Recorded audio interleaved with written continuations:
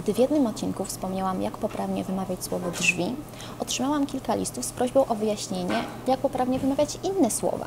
Dlatego dziś właśnie o tym pomogę Wam rozwiać Wasze wątpliwości w kwestii poprawnej wymowy.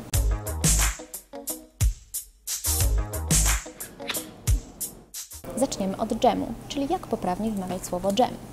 Otóż pewnie Was zaskoczę, ale słowo dżem wymawiamy po prostu dżem.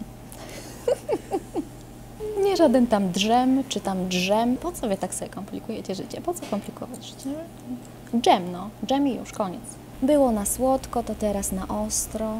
Chyba, że ktoś lubi łagodny, to troszeczkę łagodnie. To będzie o keczupie. Otóż słowo ketchup możemy wymawiać na dwa sposoby. Albo ketchup, albo ketchup. Mnie bardziej odpowiada słowo ketchup.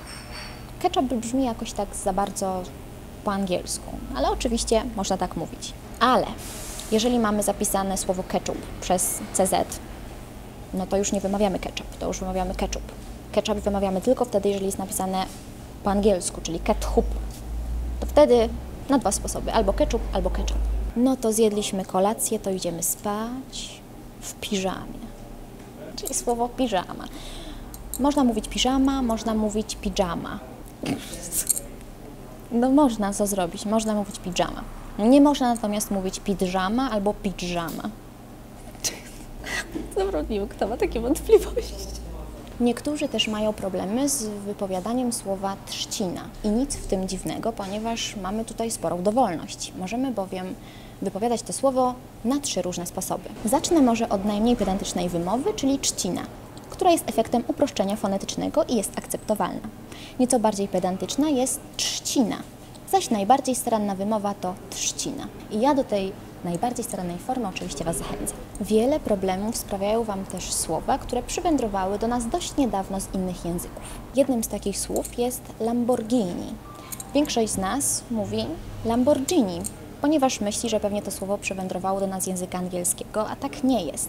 Nazwisko, od którego pochodzi nazwa tej marki samochodu, jest włoskie, zatem mówimy Lamborghini, nie Gini. Jak już jesteśmy we Włoszech, to może wspomnę o spaghetti. No właśnie spaghetti, a nie żadne spaghetti. I to bolognese. Polacy najbardziej lubią bolognese, bo tam najwięcej mięsa jest. A najlepiej to po bolońsku, o tak będzie łatwiej, wiecie, po bolońsku i heja. Podobnie bruschetta. Mówimy bruschetta, a nie żadna bruschetta. Po włosku bruschetta. Bruschetta, no, po polsku. Nie. Tortilli nie będę wałkować, bo wiadomo, że tortilla, nie tortilla. A jak już chcecie przygotować tortillę, spaghetti czy tam inną bruschettę, to warto po zakupy udać się do Carrefoura. No właśnie Carrefoura, nie Carrefoura, ponieważ to słowo pochodzi z języka francuskiego i brzmi mniej więcej jak Carrefour.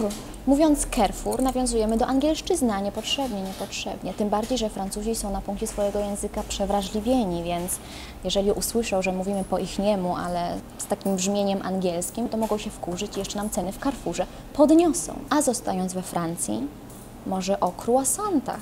No właśnie nie kurosantach. No jakie kurosanty? Jaka kura? Croissanty.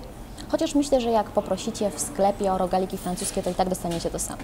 Oczywiście, żeby była jasność w tej kwestii, czasem lepiej jest coś poprzestawiać, poprzekręcać. Na przykład łatwiej nam mówić Wi-Fi niż Wi-Fi albo sushi zamiast sushi. I ja to nawet rozumiem i popieram, wtedy nasz aparat mowy się tak nie męczy, jest łatwiej, krócej, ekonomiczniej. Natomiast jeżeli nie ma żadnego uzasadnienia dla wprowadzenia takich zmian, to po co to robić? Ale oczywiście, powtórzę raz jeszcze, roptați co chcete.